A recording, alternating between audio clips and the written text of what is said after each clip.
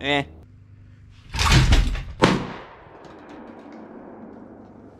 Eh. What's wrong, my guy? You seem down. You're out there shooting and doesn't seem like you're having any fun at all. Yeah, man, I don't know what it is, but coming out here and just shooting pellets and slugs and talking to myself in the woods, it just uh, doesn't have the same ring it used to. Maybe I'm just getting old. You're not getting old, my friend. You're just getting bored with the same old, same old. You gotta diversify. That's why I brought these. What's up, guys? Welcome back to Rugged Adventures. Boy, did that intro take way longer than I thought. I've been kind of bored shooting pellets and shooting slugs and stuff. So I went on the internets and I found some exotic shotgun shells. And what we're gonna look at today, we're gonna look at these piranha shells. We're gonna look at some flechette shells. I have Mucho Gaucho Bolo shells, and we have some armor piercing shells. Now the important thing to note here for whoever reviews this on my YouTube end is that none of this is homemade because you can't do any of that on uh, the YouTube channel. It's all bought from the store. I'm not going to say where it's from, but it's pretty easy to find it on the internet if you want. Today we're going to be using the Panzer BP-12. You know, I've kind of really fallen for this thing, even though today it, it has given me a lot of jams. I don't know if it's just one particular magazine or if it's still because it's just a little bit cold out. I haven't warmed it up. I'm not sure. But uh, let's get started here with these uh, Piranha rounds. We're going to go down the range, set up some targets, and see what each one of these does, see if they're any fun, because I want to show you guys uh, because these are really expensive. Uh, and if you're gonna, you know, thinking about buying these, each one of these shells with shipping and everything was probably over $10 a piece. So watch this on the internet, uh, like and subscribe down below to help me keep buying crap like this so that you can watch it and you don't have to spend, you know, 30 bucks for three shells. First up, we have the Piranha ones like I was talking about. These claim to be packed with steel nails in a uh, 12 gauge cartridge, a two and three quarter 12 gauge cartridge. Almost every one of these says that it is uh, powered by a really hot charge, and so we'll see if that's able to cycle this. What I've heard with this one is it's sort of like filled with um, like carpet tacks, like you would find in the tack strips. We're gonna let loose a couple of these. I'm gonna put one into our target and then one just into the backstop there, see if we can pick some of these out and uh, give them a look. But let's uh, let's get on with it.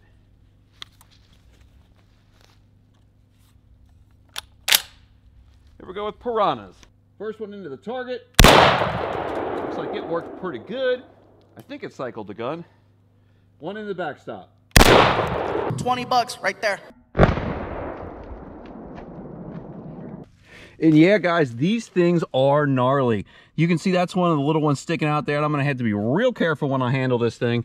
Looks like I kind of shot uh, right here. Looks like it hit here, and just you can see all of the uh, the burnout marks there and the and the claw marks from where those tacks were going in. Hit the bottom here. That would not be, you know, they say they're for home defense and such. That would not be a happy camper um, after getting hit by that. If we go back here to our backstop, you can see that there it's just riddled with these things. And I tried, I can probably pull one, one of these out here. Oh, I lost it. There it is. And it is just like a little tack. It's like a little nail type of thing. And those are, you know, come flying out of the uh, out of the shotgun at however fast they're going. I don't know. But uh, we will get started next with the flechettes. But first, I want to talk about a, uh, a real problem in the community here. This is another empty mag. And there are firearms going hungry all over the world right now. That is why, for your donation of one like and one subscribe, during our subathon, we can hopefully feed this gun and maybe tens or hundreds of other guns like it. So if you guys would, please be generous. Please be generous with your likes, with your subscribes, with your sharings, and so that we can get all of these guns in the world fed. Now get out of here, Sarah McLachlan. Our second exotic shotgun shell is something called a flechette round or flechet or flechet. I don't know. What I've heard from the internet is that uh, it is French for millions of death darts flying out of the end of this shotgun. And from what the package says, they say they used it in Vietnam to flush out snipers. It really is like probably hundreds of metal darts coming out of this thing that are kind of unaffected by uh, trees and grass and such. And if you're in like dense woods like this, you know, if someone was up in a tree, it might deflect other types of shells. This is supposed to cut through that and get right to the point. It's supposed to be 2,000 feet per second. We'll see what it does.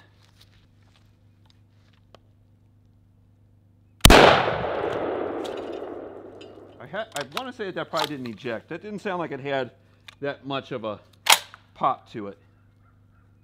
We'll hit one right here on the uh, backstop and see what happened. It didn't cycle, and this one didn't cycle either. I just don't think that there's that much juice behind this round. These things are gnarly. Like, they don't have a lot of kick, they don't have a lot of punch, but look at these things. Look at the, these are like little arrows. I didn't I know what they looked like. I thought that they would be kind of smaller. Look at that thing. That is the flèche round. It's like a little uh, steel missile that comes out and it's stuck all over in these things. It didn't do like a ton of damage to our target. There's one sticking out. Look at that thing.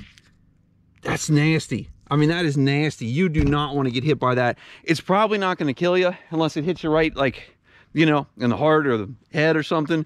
But man, you're going to be uncomfortable as can be. Look at the back of this thing. We've got like little nails popping through all over the place. Where's another one? Right there. There's there's another one. That is nuts. Uh, so although that didn't have a ton of pop, that is a gnarly round. Not something that you're going to want to tangle with. And uh, I, that's that's wild.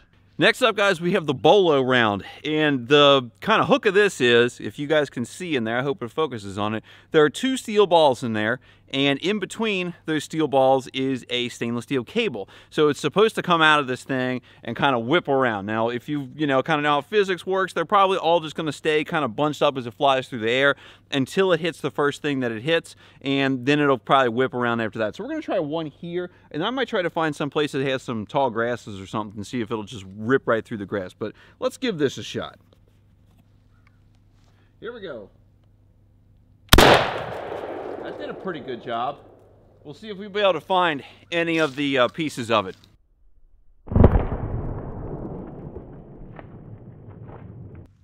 So I may be mistaken about it not coming apart. It pretty much sliced that dude right in half, and I don't really know where the other parts of the uh, pineapple are. I was not able to find the actual the the bolo round, the balls and the string, but what I was able to find when I looked behind the target, it went ahead and sliced right through.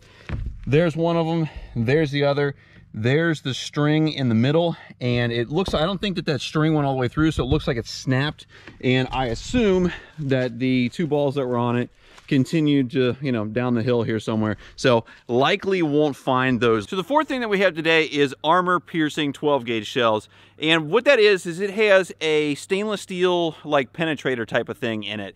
Uh, it says from here that it uh, should go through a quarter inch steel, any sort of car doors or sides, which we may, we may visit in the future. Uh, and it says that it has an extra hot load. So we're gonna see what, what it does. I've kind of changed up the targets. I don't think that a pineapple is gonna resist this at all. So we're gonna start with a piece of firewood. I think that that's ash that's been killed from the emerald ash borer, but we will see what that does. Let's see if I can even hit it.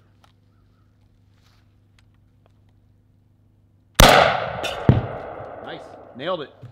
Let's take a look at what it did.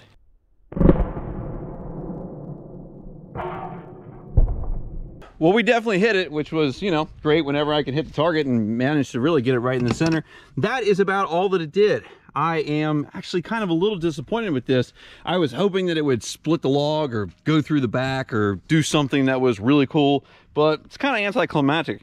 So the next one that we'll do is we'll shoot it here at this quarter inch plate. This is I call like my UFO target because I'm not sure what it's made out of. It's backed in Kevlar and the only thing that's even been able to do anything to it is this 300 Win Mag here. Everything else has barely scratched the surface. So once we get this thing unjammed, because the shell managed to jam in the barrel, we'll uh, try again. All right, we're gonna try hitting, like I said, our UFO armor. It is kind of at an angle and it will probably fall down, but I really don't want this chunk of metal coming directly back at me if we had like the best shot directly perpendicular to it. Not interested in that today. So here we go. I hit pretty darn hard. Let's see if this thing ejected this time. It didn't eject, but it didn't get jammed. I'm not actually sure what happened with the last one, but the only thing that I can think of is that this part of the casing right here, the uh, the end of the brass, must have swelled up when it went off and kind of got stuck in the breech. So see what happened with our UFO target down here.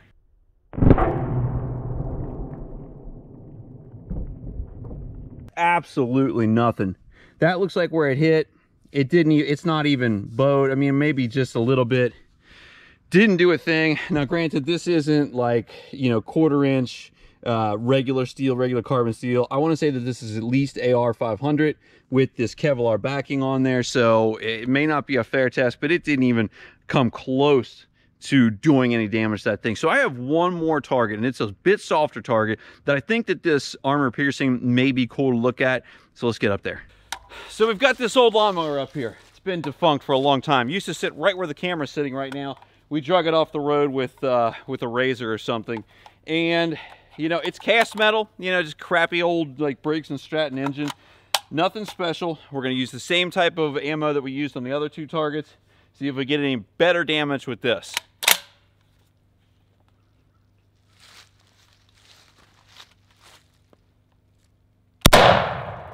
And we definitely hit it. Let's see what we did. All right, so it went in right there. You can probably still see smoke wafting out of it. It uh, it went in. I can't see where else it, it went to in the engine. It definitely did not come out anywhere as far as I can see. So it went in there and rattled around. And you know, those other rounds were really cool. I thought the Flechettes, I thought the Piranhas were pretty neat, probably worth the money. The Bolo rounds are, are unique, and we'll try to find a, a grassy time in the summertime. It's the end of March, or the beginning of March, so there's not much grass around. Those ones I think were probably worth it. The armor piercing one, I'm not terribly, you know, impressed by. I think the biggest problem with it is that there's just not enough room in a two and three quarter shell to put that armor piercing round, put a wad in there, and also put enough propellant so that it can, you know, go fast enough to really do significant damage. And then if you could even do all that, can a typical 12 gauge shotgun hold up to that pressure? I honestly do not know. But if you guys want to see more cool stuff like this in the future, be sure to subscribe to this channel, hit the like button down below, click on these videos. There's other stuff that we've been uh, shooting at that we've been blowing up. Be sure, if you guys care at all about feeding these hungry guns to uh, subscribe to the subscribe-a-thon. Be generous with your donations, guys. These guns can't feed themselves. There is a poor, starving gun probably in everyone's basement. I appreciate you guys watching today, and I'll see you in the next one. And here's a little sneak peek on what's coming. Oh, yeah.